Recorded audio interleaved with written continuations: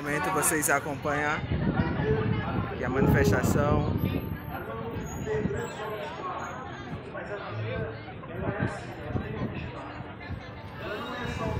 Campina Grande, na manhã desta segunda-feira.